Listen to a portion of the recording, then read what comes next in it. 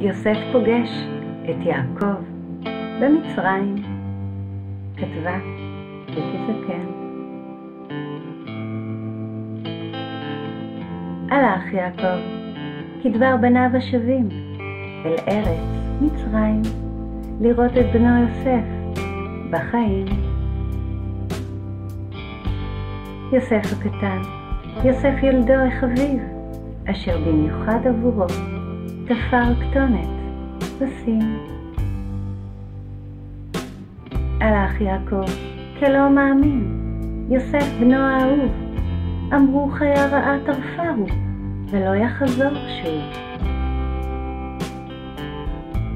ויעקב בדרך למצרים, וראה אותו יוסף מרחוק, ויצא לקראתו, ויחבקו.